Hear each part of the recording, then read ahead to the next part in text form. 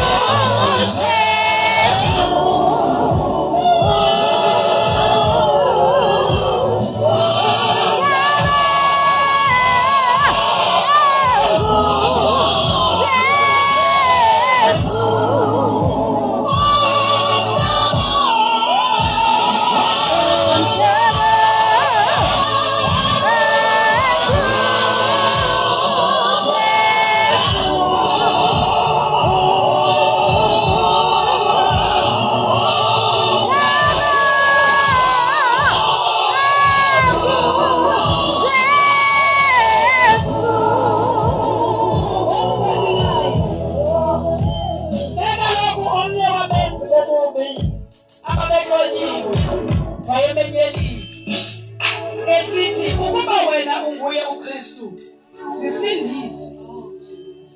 Nathi usisindise verse 40 waphendula ke omnye wamkhalimela esithi akumoyiki na wena uthixo?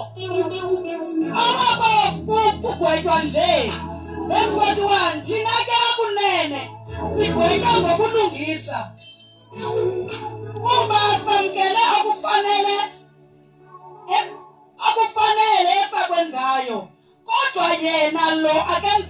nto ingendawo haleluya haleluya yarhala ke bangcwele sabelane njena ngeli lizwi elesibini um silifumana apha kwincwadi kaluka uchapter 23 from verse 39 ihlelwe into ethi xa ndifumana la mazwi aba bantu babini njengoba bebabini njena omnye uthetha enye ngapha nomnye uthetha enye kwelinye icala kodwa bethetha izinto ezohlukeneyo zinjalo. Ndibulela uba kukho abatyhilekelweyo inoba loo noba elapha njena akazelanga ukuze sithethe izinto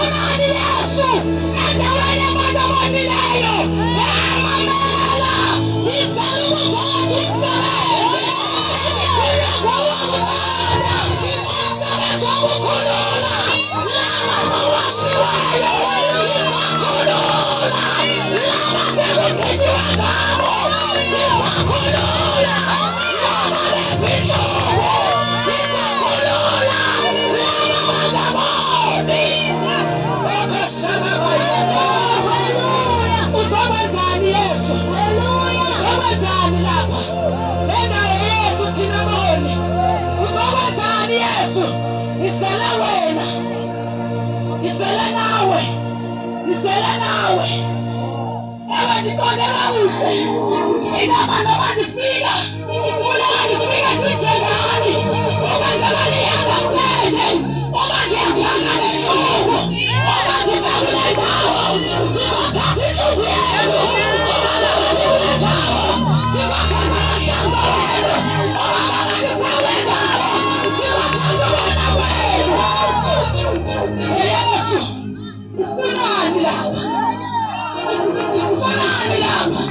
Jesus.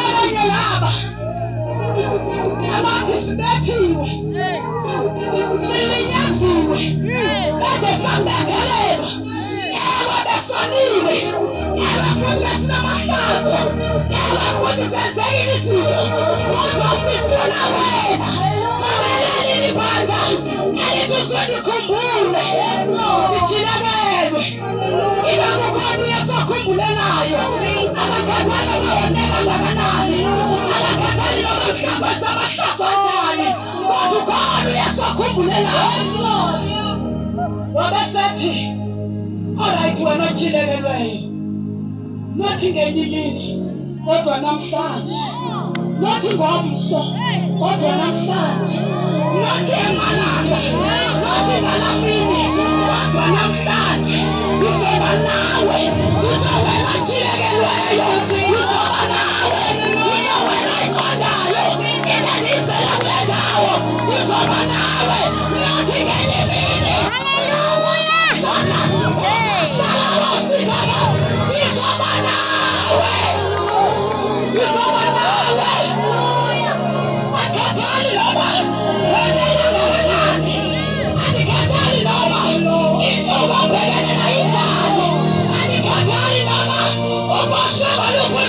Oh.